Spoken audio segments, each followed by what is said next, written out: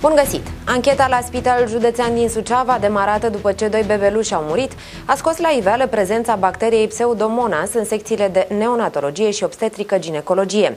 Bebelușii internați la unitatea medicală au murit în ultimele două săptămâni, unul la câteva ore după naștere și cel de-al doilea la 11 zile după ce s-a născut. Conducerea Direcției de Sănătate Publică Suceava recunoaște prezența bacteriei, dar nu vede legătura dintre această bacterie și moartea copiilor. De asemenea, a cerut un nou set de analize, deși Direcția de Sănătate Publică a cerut dezinfectarea deja de urgență a celor două secții a spitalului.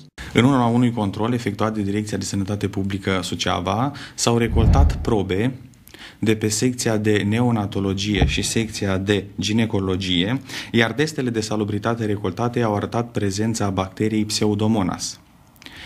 Imediat s-au luat măsuri de dezinfecție la nivelul secției, coroborat și cu cele două decese apărute la doi copii, am trimis tulpinile către Institutul Cantacuzino pentru a ni se trimite un răspuns oficial. La ora actuală nu avem un răspuns adecvat sau un răspuns oficial despre ceea ce reprezintă îmbolnăvirea celor doi copii ca fiind raportat la această bacterie din spital.